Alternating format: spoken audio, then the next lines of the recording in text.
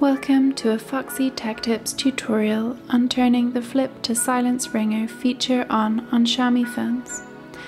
If you find this video helpful, please consider subscribing to my channel and liking the video. When the flip to silence feature is turned on, you can silence your incoming calls by simply flipping your phone so it's face down. Here is how to turn it on. Start by opening the Settings app. In Settings, scroll down and select Apps. In Apps, select System App Settings.